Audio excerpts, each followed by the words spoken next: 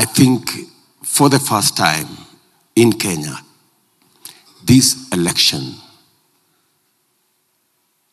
is more of a spiritual battle than a political contest.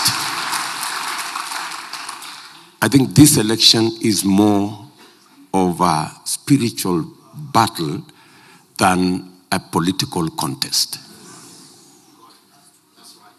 And that is why we have all the manner of things that are going on today.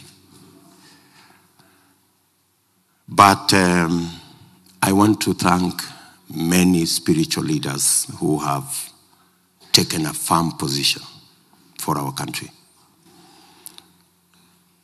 I must say that we are not ashamed of our God. We will stand firm and we will take whatever consequences. We will be happy to take whatever consequences when we have taken a position on the side of our faith. And we believe in a united country. We believe in a united Kenya. And we want peace for our nation. I want to ask Kenyans from all walks of life, from the, uh, uh, both sides of the political divide, to be peaceful